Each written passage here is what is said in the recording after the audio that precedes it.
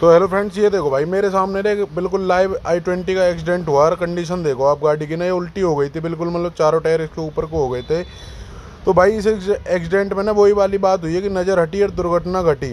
तो भाई इसके अंदर दो ही बंदे थे, एक ड्राइवर था जो चला रहा था और दूसरा था बच्चा छोटा सा।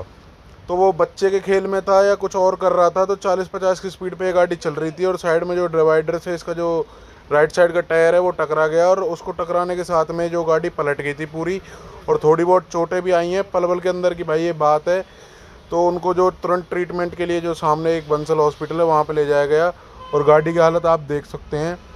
तो भाई ऐसा कोई भी काम ना करें, गाड़ी चलाते समय ना अपना ध्यान जो गाड़ी के ऊपर ही रखें, इधर उधर ना रखें, नहीं तो आपके साथ भी कोई दुर्घटना या हादसा हो सकता है। तो भाई ऐसी चीज़ों से जो सेफ़ रहें, बिल्कुल। बाकी इसका टायर वायर वगैरह ना पूरा टूट गया, यही टायर था जो फुटपाथ में लड़ा है थोड़ा सा और चालीस पचास की स्पीड पे गाड़ी थी तुरंत पलट गई थी भाई।